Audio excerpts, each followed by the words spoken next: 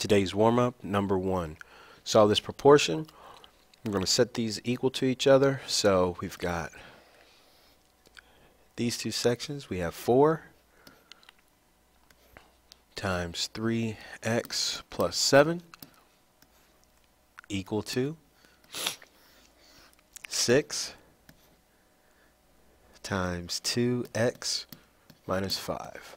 Okay, we do the distributive property. We have 4 being distributed to 3x and also to positive 7. That gives us 12x plus 28 equals distributive property here. We've got 6 times 2x, which is 12x, and 6 times negative 5, which is negative 30. Draw a line. We're going to identify our terms. We're going to subtract 12x from both sides. That cancels, that cancels, which leaves us with 28 equals negative 30. That, of course, is not a true statement, so this has no solution. Number two. With number two, we're going to create a function that represents the following. So our function is going to be in y equals mx plus b form. First thing we're going to find is the y-intercept. The y-intercept, we go to the x values, find the one that's at 0, and whatever the y value is, that's our y-intercept. So our y-intercept is 15. So, so far what we have is y equals mx plus 15. Okay. Now we're going to look for our constant rate of change. With our constant rate of change, we have to remember that is the change in y over the change in x. So we have to look for a constant rate of change. We'll start with the, uh, the y values. From 3 to 6, we're adding 3. 6 to 9, adding 3. 9 to 12, adding 3. 12 to 15, adding 3. Going to the x values, 16 to 12, we're subtracting 4. 12 to 8, subtracting 4. 8 to 4, subtracting 4. And 4 to 0, subtracting 4. So, our slope, our m, is going to equal our change in y, which is positive 3, over our change in x, which is negative 4.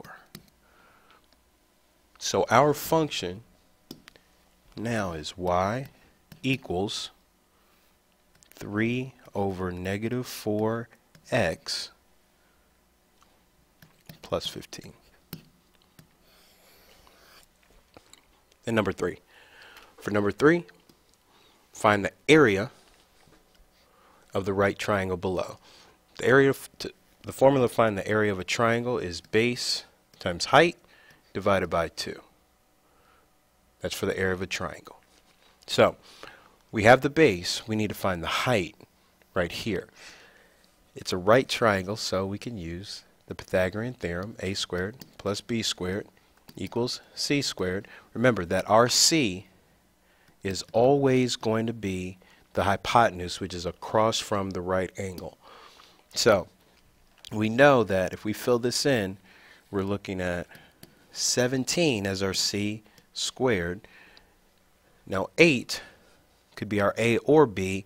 Let's put that as our a. So 8 squared plus b squared, and b is the side we're looking for this time, equals 17 squared. Do the computation, that's 64 plus b squared equals 289. We're solving an equation now. We're going to subtract 64 from both sides. We have b squared equals 225. Take the square root. We have b equals 15. So our b is 15. So we have 15 times 8, base times height, divided by 2 which comes out to 120 divided by 2, which ends up being 60. So our answer would be 60 units squared.